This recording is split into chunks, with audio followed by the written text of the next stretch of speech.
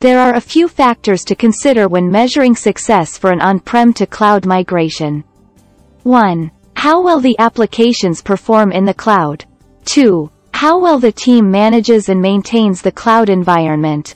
3. How much money is saved by moving to the cloud. To measure the performance of applications in the cloud, we need to look at metrics like response time, throughput, and error rates.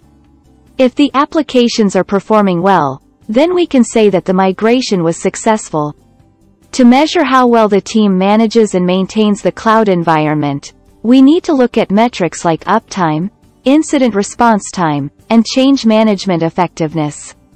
If the team is able to keep the environment running smoothly, then we can say that the migration was successful. Finally, we need to measure how much money is saved by moving to the cloud. To do this, we need to look at the total cost of ownership TCO of the on-premises environment versus the cloud environment. If the TCO of the cloud environment is lower, then we can say that the migration was successful. By properly measuring success, organizations can more effectively plan and execute their cloud migration strategy.